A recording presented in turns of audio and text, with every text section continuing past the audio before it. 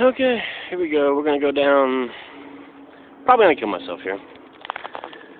Uh, haven't skated in a long time, but um, here we go. See what happens here.